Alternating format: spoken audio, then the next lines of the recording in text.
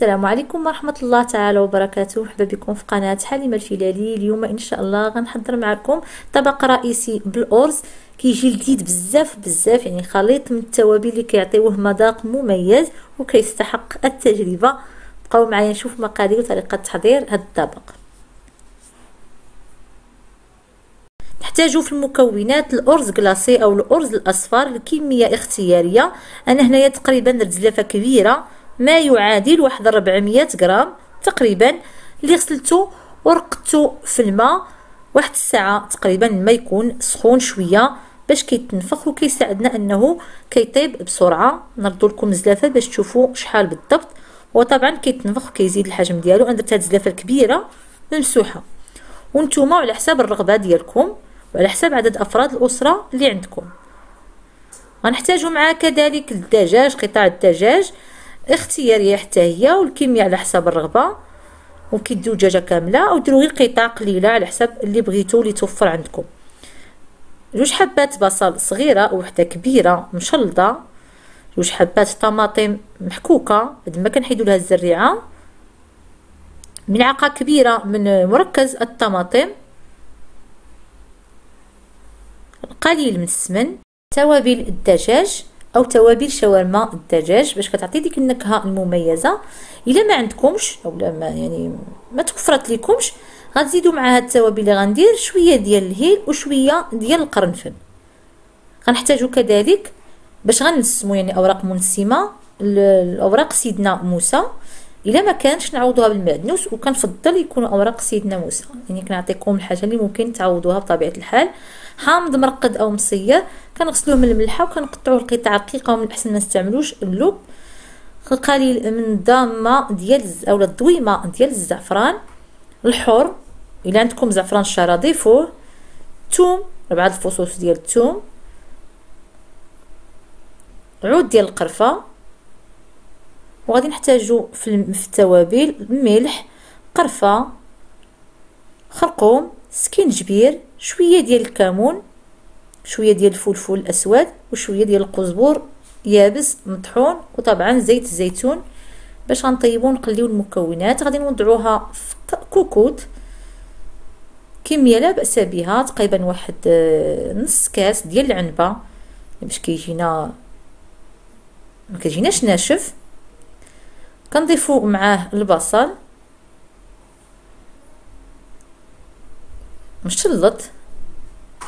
وكنحركو بهذا الشكل.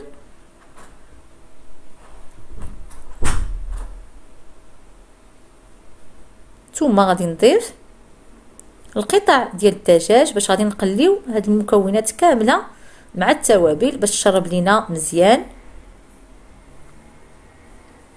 ضيفوا شوية ديال السمن تقريبا واحد الملعقة صغيرة وكيبقى على حسب الذوق كما كتعرفوا السمن كيعطي آه، مذاق زوين بزاف الأطباق. يعني ممكن تضيفوه حتى من الأطباق العادية اليومية.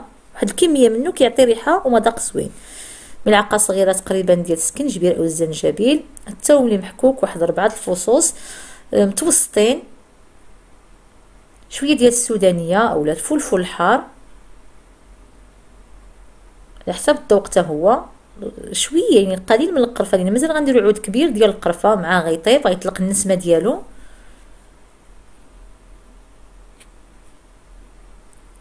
قليل من الكركم أو الخرقوم مثلا غنديروا ضويمه ولا زلادرت والزعفران الشعر حتى هو غيطلق اللون. كما كتعرفوا الأرز دائما كنقولها لكم يتواتى مع الزعفران شعرة.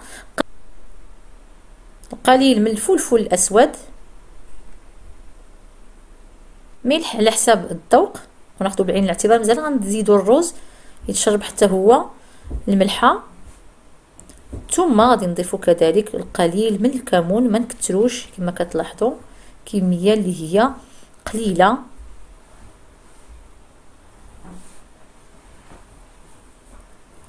ملعقة صغيرة قزبر يابس مطحون. نحاولوا نحركوا هاد المكونات مع بعض يعني الدجاج البصل والتوابل. ونخليهم يتقلاو واحد شوية حتى كيتشرب لينا الدجاج مزيان. عاد نضيفو باقي المكونات من غير الارز طبعا. طماطم ولا مطيشه محكوكه جوج حبات ملعقة كبيرة ديال الطماطم المصبره ونستمروا في التحراك.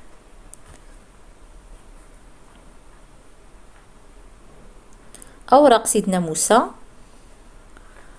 حامض مصير مقطع رقيق. ممكن الاستغناء عليه. عود ديال القرفه ثم ضويمة وحدة. دوك الصغيورين صغير باش يعطيونا نكهة ديال الزعفران شعرة. وبالنسبة للماء فأنا درت ديك الزلافة الكبيرة. فغندير جوج زلايف نفس القدر ماء غليان. يعني نغليوه ونسدو عليها ونخليوها طيب على حساب درجة الحرارة اللي بغيتو نتوما. تقريبا واحد عشرين دقيقة. طبعا على حساب كيف قلت لكم درجة الحرارة وقطع الدجاج واش كبار ولا صغار. أنا طفيت عليها خليتها يعني حتى بغيت نطيب الأرز يعني خصنا نطيبوها مباشرة نقدموه الارز ما خصوش يعاود يتسخن لذا خليتها حتى بردت حتى قرب الموعد ديال الوجبة الغداء. أنا قدمتها صراحة في الغداء. وكاين ناس اللي ما كيقدوش على هاد الوصفات كيعجبهم يعني وصفات اللي ثقيله شوية في الغداء غادي يخليوها للعشاء. كنحيد القطع ديال الدجاج وكنديرهم في واحد الصفيحة اللي غندخلها من بعد الفرن. نضيفوا الأرز ديالنا نحركوا واحد شوية ونعاودوا نغلقوا ونشعلوا النار ونخليوه يطيب. تقريبا واحد 15 دقيقة يعني بنحسبوها بعد ما كتبدا الكوكوط كتصفر. صافي ونطفيو عليه. الدجاج كنخليوه حتى كيقرب شوية يطيب. الرز عاد ندخلوه للفران يتحمر. واخا ما عندوش الجلده لأن كنحيدو الجلده تماما. كندهنوه بشوية ديال السمن اولا الزبدة. وندخلو العافية فوق منه حتى كنشوفوه تحمر اللون ديالو. صافي ونقدموه مباشرة مع الأرز اللي كيكون طاب. وشرب الماء كامل ما تجهدوش عليه الحرارة خليوها ناقصة باش ما ينشف لكم شوية تحرق. وكيف قلت لكم يطيب نقدموه أو خليوه مسدين عليه شوية في الكوكوت. ما تفتحوش باش ما يدردش ويصعب عليكم تسخنوه. وفي حاله ما كاع برد وبغيتو تعاودوا تقدموه زيدوه شوية الماء وعاودوا سدوا عليه بالكوكوت مرة أخرى وبنفس الطريقة غير ما تطولوش خصوصا درتو كمية ديال الماء قليلة. صافي نوضعوه في طبق التقديم ونحاولوا نزولوا أوراق سيدنا موسى والعود ديال القرفة باش نقدموه بهذا الشكل ونوضعوا قطع ديال الدجاج من فوق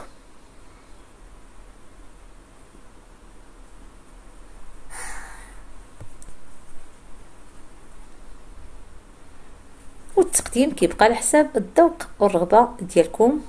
هذا اقتراح بسيط يعني وعادي.